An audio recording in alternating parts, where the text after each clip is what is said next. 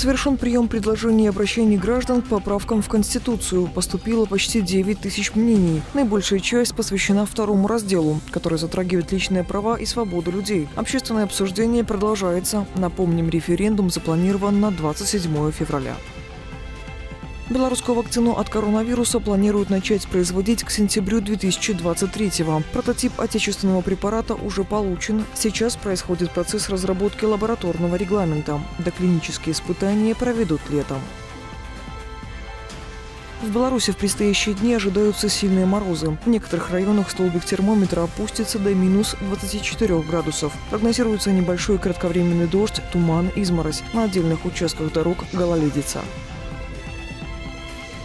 В магазинах площадью от 200 квадратных метров к 10 апреля должно быть установлено кассовое оборудование. Исключение – торговые точки в сельской местности. Раньше это касалось только крупных объектов больше 650 квадратных метров. 18 мая кассы должны появиться и в местах розничной торговли продуктами, в том числе овощами и фруктами на ярмарках и рынках. Стартовал юбилейный 20-й конкурс на лучшую марку Беларуси. В нем принимают участие миниатюрные знаки оплаты, выпущенные в оборот за минувший год. Отдать голос можно до 18 февраля на сайте Белпочты. Здесь же опубликуют итоги.